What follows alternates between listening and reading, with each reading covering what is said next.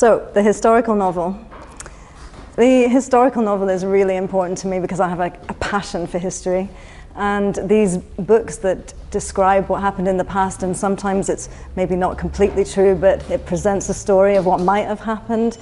They're so important because it brings history to people in an entertaining way. And, it, and if you can, as a writer, if you can write a historical novel which asks questions and prompts people to go away and find out the truth for themselves, then I think you've served quite an important purpose for history. So, the 19th century. This is also an important period for me. I seem to have been drawn to it for some reason. Um, both the, the, novel I've just written and the one that I'm writing now are set during that time. And for me, I feel I belong to that time a lot more than I do modern times. Um, everything seemed to be simpler in a way, and the clothes were so much better made. And I kind of feel uh, it's a time that um, we don't have anymore. And uh, that's why I'm really interested in trying to bring it back to life again and make it accessible to people. So, yeah.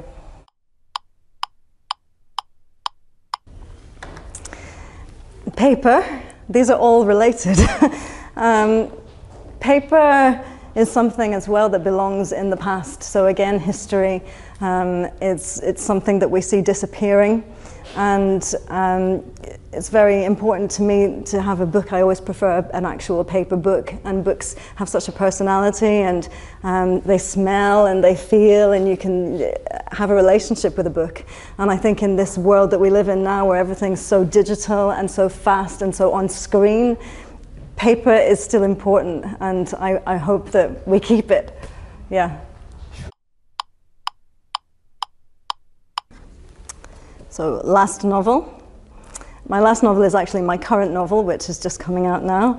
Um, so, that is, to sum up, based in the 19th century, and it's about artists, about history, and some of the things that I've talked about. But so is my next uh, novel, which is about Alfred Nobel and a lot of his life was based in Paris. So it's Paris, it's 19th century, it's Alfred Nobel, it's chemistry. Um, so yeah, I, I, tend to have that as my genre and my topic. Uh, so that's my last novel. Cinema. Cinema is also really important to me because it's another way of um, bringing the past to the present. And because it's so visual, it allows people to connect in a short time and, and in a very easy way with the past and with the story. And I think it also with, with the technology that we do have, it's um, a very flexible way of storytelling and it brings it to so many people as well. So cinema is, is also close to my heart.